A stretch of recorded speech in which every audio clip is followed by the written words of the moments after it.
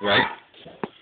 This is Jacob's Cartesian diver. There's a little bottle of water with a cartridge in it, weighted down by a crocodile clip. Now let go, Jacob.